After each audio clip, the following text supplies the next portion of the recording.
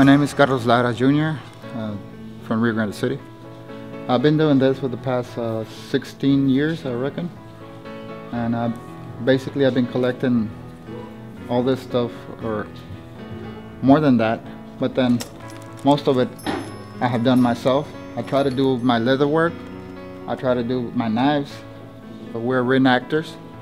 We've been doing it for oh, quite a while already.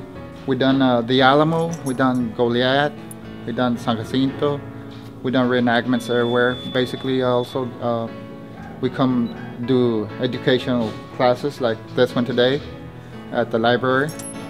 Kids nowadays forget or are forgetting their their roots, and it is important for us to remember who we, where we come from to know where we're going. And actually, I'm trying to keep this alive. Me and another, a whole lot of other personnel. We at uh, I'm in three organizations in different parts of Texas. And we're going to keep on doing it because uh, it's very important for us to let our kids not forget where we come from, to remember their heritage, whichever that one is. And just way too important for me. I'll just keep on doing it. I don't know how long, but as long as I can.